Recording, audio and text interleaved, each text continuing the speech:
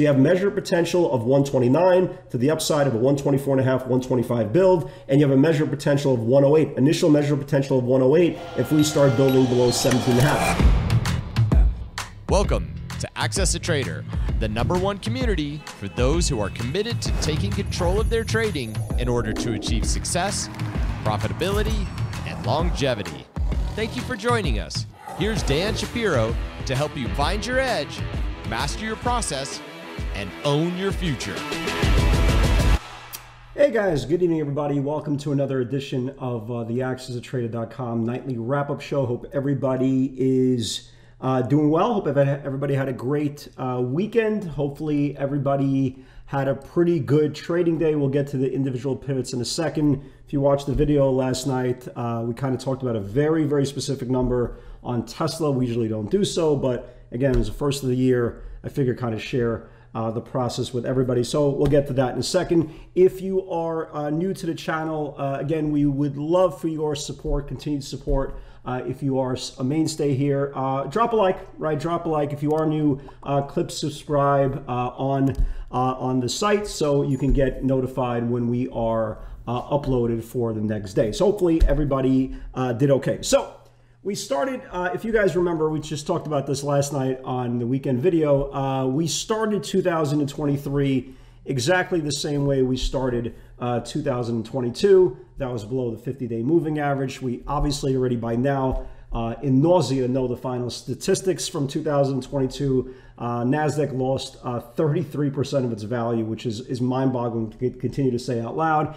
Although today, although today was not an exaggerated move uh, or anything to be kind of notified, we're still playing out the same thesis as the market did when it lost the 50-day moving average back on uh, December the 15th. And when you look at the final tallies today, it's, it's it was really not a big deal one way or another. Uh, you're talking about here, let's see here, we're talking about the Dow down 10 points, the S&P down 15 points, uh, and the NASDAQ down uh, 79. Obviously, uh, the weakest out of all of them. But the way the day, you know, the way the, the futures started out last night, if you were watching the futures last night around six o'clock, you know, pretty, pretty crazy roller coaster ride. Around six o'clock, uh, the Dow futures jumped up about 200 handles. Uh, the NASDAQ futures were up about 80 points. And we're like, oh, okay, you know, they're going to continue the rally uh, from the last couple of days. All right, pretty cool. Who knows? Maybe the Bulls uh, make a stand. We talked about that uh, 267 level, the importance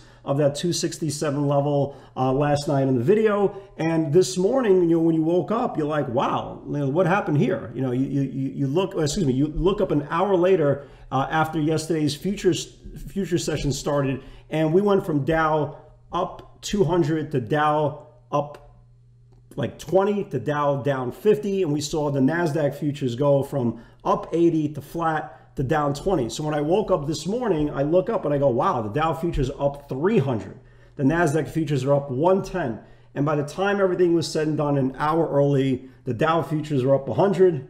The NASDAQ futures were up like 20 and let the roller coaster around uh, go on and on and on. And you could see here pre-market, uh, the Qs, you know, Qs really jumped up above that 267 level that we talked about pre-market. The problem is it lost it as soon as the market opened up. And again, we got we closed below uh, the 10-day moving average, and which really brings us into a pretty good uh, scenario here if you are uh, a delta neutral trader. So basically, like me, you know, I'm looking for a specific edge in those channels, whether we close above the range or below the range. That's the area that we are focusing on for the next day. And now we have a definitive area, right? We already know how important this 267 level is. We talked about last night the importance of 262. You see where it stopped again, right? You guys, you guys see that? Right? 262 is the low from 1229. 262 is the low from 1230. Guess what today's low is, right? Drum roll, please.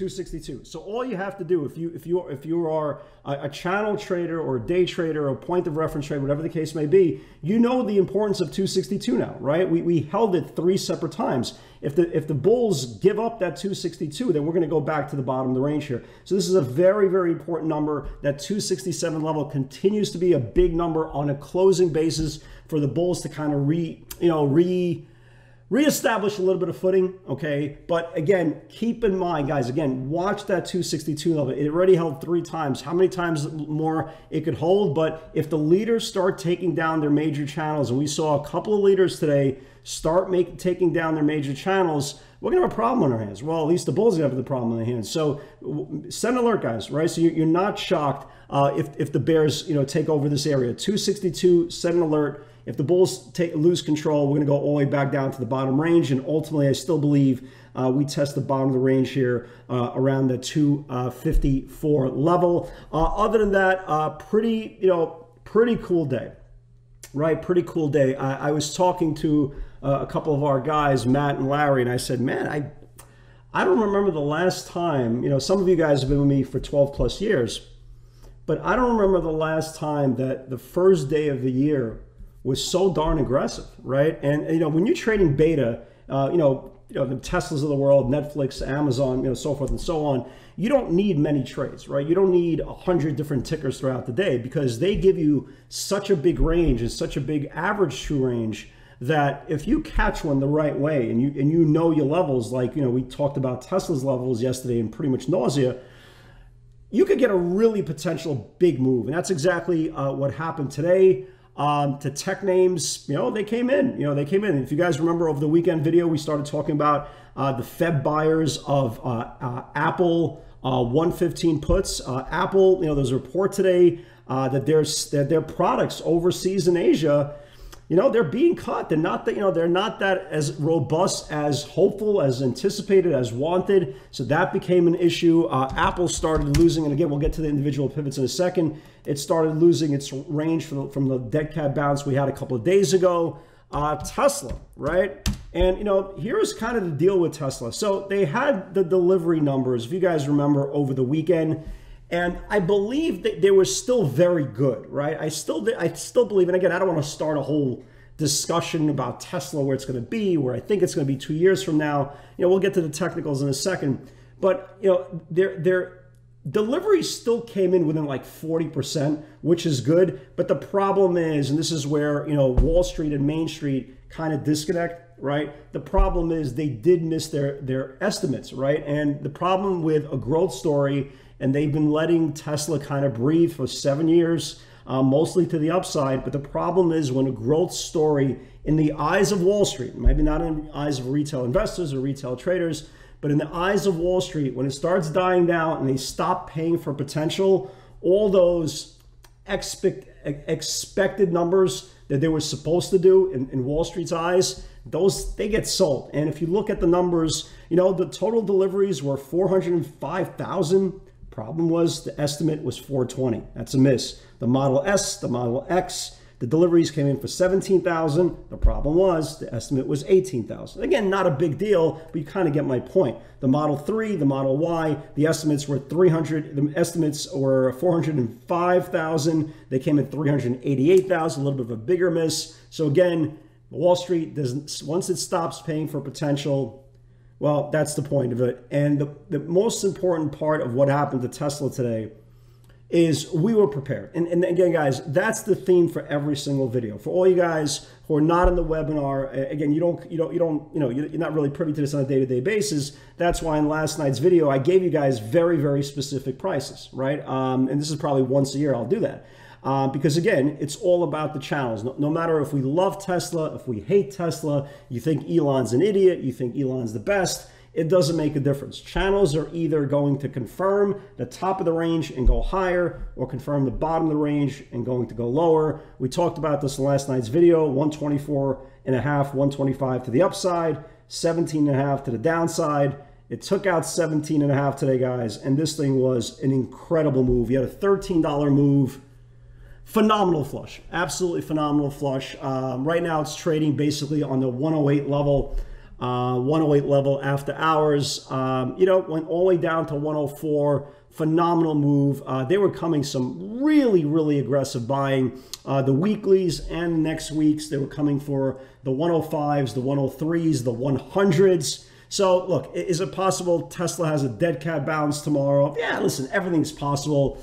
I have zero interest in the dead cat bounce. I really do. The same way, uh, the same way when the market dead cat dead cat bounces, right? You kind of kind of looking to pick your spots. You know, look, I, I I think if Tesla goes sideways or if it starts losing today's channels, I think there's a shot this thing tests 100. And, and if you look at the the daily Bollinger Band, uh, you have a move, you know, what to 97. So you know, keep an eye on this thing for the next couple of days. But today, absolutely phenomenal job, uh, phenomenal, phenomenal move on Tesla, uh, and it was super fast, super aggressive, uh, but more important, uh, very, very orderly. So let's talk about uh, let's talk about um, today's pivots, right?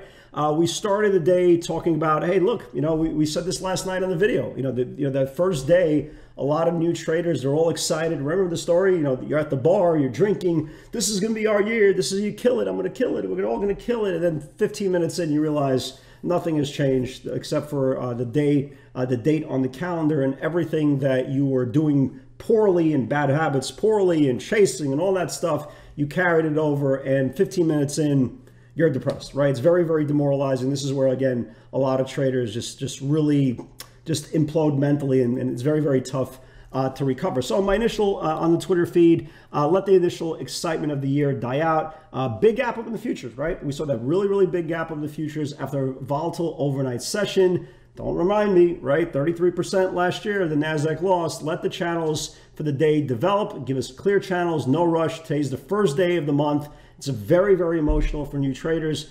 Again, for us, I don't care if it's a Tuesday, Wednesday, Groundhog Day, Flag Day, whatever day right? First day of the year, it's business as usual, one trade at a time, one day at a time. Let the channels develop, and boy, oh boy, did they develop. So Tesla, again, like we talked about last night in the video, 125 upside, 117.50 downside for the day. Tesla went through that 1750, never looked back, and absolutely got destroyed. I mean, destroyed, went straight down uh, to 104. Really big move here. Uh, Kala, I wasn't really watching. Uh, I put this in for you guys. Caller for thrill seekers and experienced traders. Monster four day run. 29 if it builds below can start a backside move. I have no idea what this thing did. I have no idea. This is the first time I'm seeing it. Not really my thing. Uh, it looks like it went down to like 28.50 and then bounced. So it is what it is. Yeah, so you know, very pretty much everything gapping close to their supply. I'll start putting in pivots as the day develops. Meta continues to be really, really strong, right? Uh, 124.70 needs to build. Here it was Meta. Really nice, strong pop considering how weak everything was. Here was the 124.70s. One, you know, nice move. You know, rallied you know, a couple of bucks uh, very, very quickly on Meta. I still like it. It looks pretty strong, especially uh, if the market continues to, to grind or uh, sweet move there. Uh, Apple got hit again. They came, they started coming uh, last week for the 115 Febs. Uh, today, this morning, they were coming for the 127, the 126 puts. Last Friday, again, the Feb 115s. 127.40 if it builds below can flush. Here's Apple, right? So these are the leaders. These aren't just regular you know, average stocks. It took out the 2740, went all the way down to 24. Hey, man, if this thing start conf starts confirming today's channel, I think there's lower prices up ahead. So let's keep an eye on that. Uh, little stock, guys, keep an eye on this little stock, uh, GRAB. I, I, tweeted this out in my regular account. Uh, for small cap lovers, they were coming for the February four and a half calls. Uh, 340, 345 needs to build. Uh, take a look, take a look, take a look. I, I put this in my regular account. Um, let me just show you guys the option flow on this thing. Let me just show you the option flow. There's some pretty, pretty big, um, let me see, Dan Shapiro. Bear with me one second. It's here, it's here. Anyway, if you go through my full account, there, there it is, right? Well, actually, that wasn't me, but somebody posted this also. Looks like somebody posted it also, so I don't have to go only to my account. But somebody posted this also. Look at look at the buyers they were coming in for, guys. Look look at the premiums they were coming in for.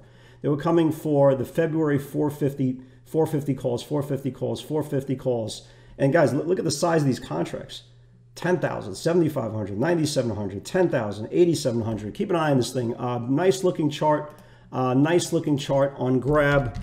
Uh, nice looking chart on grab. It's breaking out of this whole cycle. If this thing starts getting above this channel here, above November 16 highs, who knows? Maybe it could take off. The last big, uh, smaller name that really did well was if you guys remember IQ, right? We talked about IQ off that $4 break. They were coming for the $4.50, $5 calls. Look what this thing did today. So who knows? Maybe history will repeat itself. Anyway, guys, uh, welcome everybody back.